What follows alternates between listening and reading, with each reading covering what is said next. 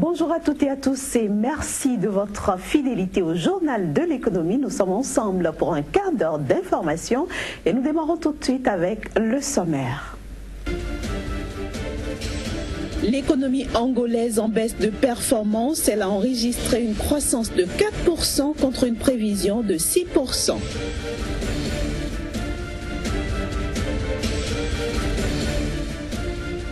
La pauvreté recule en Afrique, mais le continent noir compte plus de personnes vivant dans l'extrême pauvreté. C'est ce qui ressort d'un rapport de la Banque mondiale publié vendredi dernier.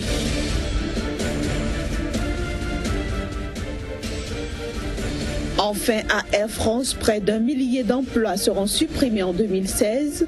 C'est dans le cadre du plan de restructuration de la compagnie. À nouveau bonjour et bienvenue dans cette nouvelle édition du journal de l'économie que nous démarrons avec le tour d'horizon de l'actualité économique sur le continent africain, une présentation de Génial Afoula. L'économie angolaise enregistre cette année une croissance de 4% contre un objectif précédent de 6%. Cette situation est due au recul des cours du pétrole que subit le pays. Un recul qui représente les deux tiers des recettes fiscales et 95% des recettes en devises. Le cours officiel de la devise nationale, le Kwanza, a connu cette année une chute de 30% sur le marché noir. Notons que la dette de l'Angola devrait grimper à 46% du PIB cette année contre 32% fin 2014. La Tunisie devrait émettre son premier soukouk l'année prochaine. Annoncé il y a un peu plus d'un an, cet emprunt obligataire s'élève à 1 milliard de dinars. Les besoins de financement extérieur de la Tunisie devraient atteindre 3 milliards de dinars, soit 1,35 milliard d'euros en 2016.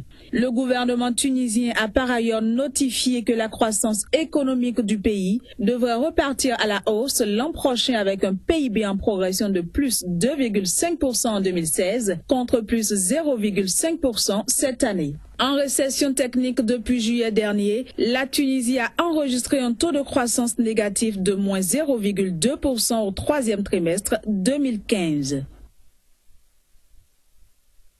L'Afrique du Sud et la République démocratique du Congo réaffirment leur volonté d'accélérer le projet d'extension des barrages hydroélectriques d'Inga sur le fleuve Congo conclu en 2013, la concrétisation de ce projet pourrait fournir du courant à l'Afrique entière. Il prévoit plusieurs phases d'extension des capacités de production électrique sur le site exceptionnel des chutes d'Inga à environ 250 km au sud de Kinshasa où existent actuellement deux barrages fonctionnant aujourd'hui bien en deçà de leur capacité. Le site d'Inga sera doté d'une capacité de production de 40 000 MW, soit l'équivalent de plus de 24 réacteurs nucléaires de troisième génération qui seraient exportés jusqu'en Afrique du Sud, mais aussi vers l'Afrique de l'Ouest.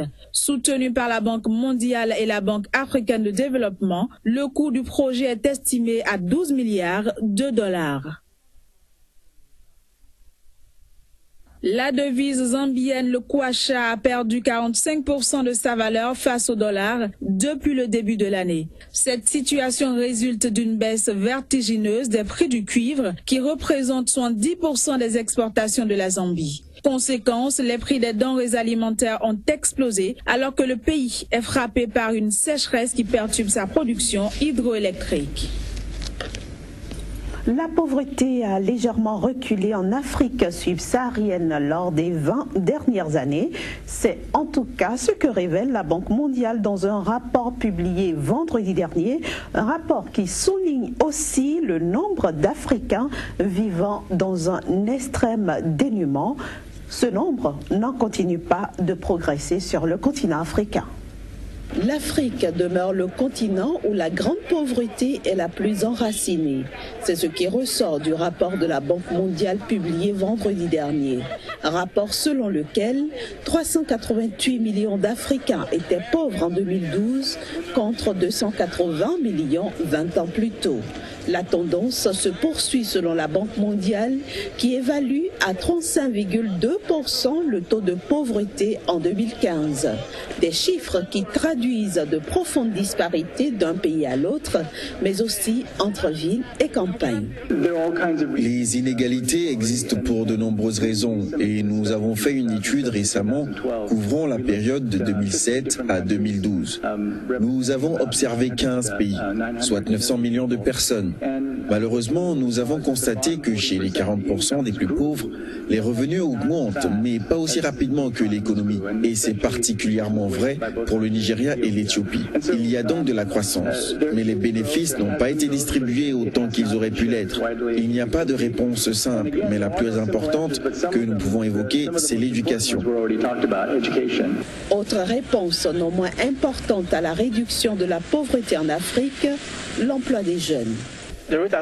La vitesse à laquelle augmente le chômage, c'est, je crois, une raison pour laquelle il y a encore de la pauvreté dans notre pays. Si le gouvernement parvient à créer de l'emploi ou n'importe quelle chose qui permettrait la création d'un peu de revenus chez les jeunes, je crois que cela aidera à endiguer la pauvreté la productivité dans le domaine agricole et les politiques de redistribution des richesses sont autant d'autres facteurs qui pourraient changer la tendance de la pauvreté sur le continent noir.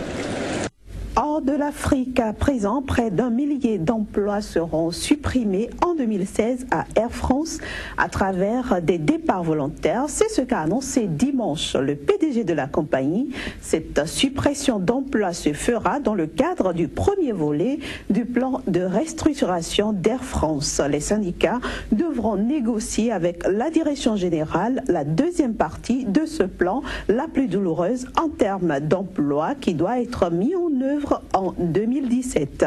Si les négociations aboutissent, eh bien, le PDG de la compagnie s'engage à abandonner ce volet et à revenir au plan Perform 2020, un plan qui exige du personnel de travailler gratuitement 100 heures de plus par an.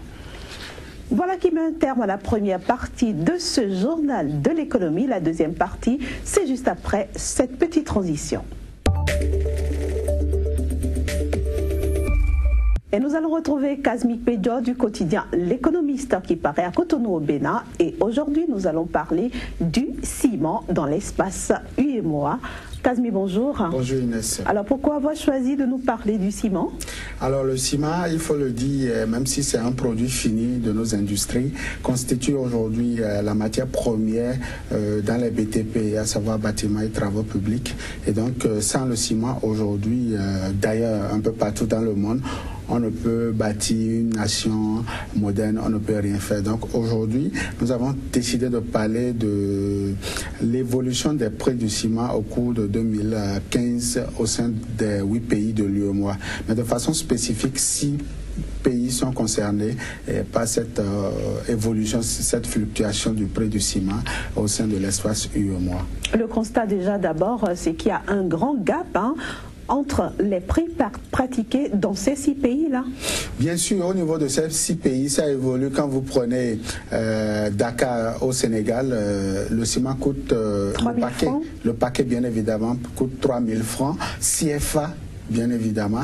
Et déjà au niveau de Ouagadougou, hein, ce même produit est vendu à 6 000 francs CFA. Donc vous comprenez déjà que d'un pays à un Ça fait du simple au double. Hein? Du simple au double. Et pourtant nous sommes dans, dans un espace... Pourquoi cette euh, disparité-là Oui, ceci euh, témoigne déjà de l'importance que chaque pays a pour les BTP, de l'affluence ou du moins de l'impact positif des BTP dans le pays.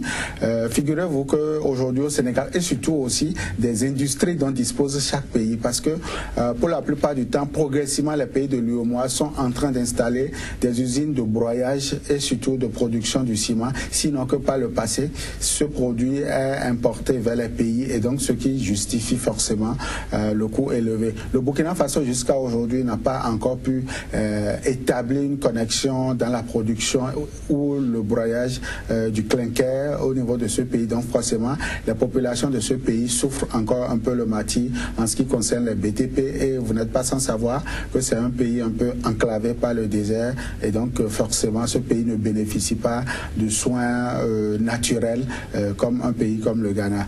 Quand vous prenez le Bénin et le Togo par exemple, le ciment est vendu à 4000 francs, ça tourne autour de 4000, 4050 francs, alors qu'au Mali, le consommateur devra débourser 4300 francs pour pouvoir avoir le paquet de 50 kg. Alors lorsque vous combinez tout ça et le, de la Côte d'Ivoire aussi, le produit au cours du premier trimestre jusqu'au la fin